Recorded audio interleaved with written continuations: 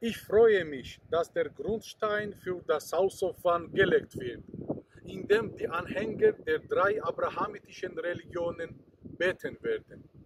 In der modernen Welt, in der die Menschen aufgrund ihrer Religion immer noch entfremdet sind und in Konfrontation leben, möchte ich dem House of Fun wünschen, eine Oase des Friedens zu sein, in der Juden, Christen und Muslime ihre Erfahrungen im Dienst an Gott und an den Menschen im Geiste des Friedens und der Versöhnung teilen werden.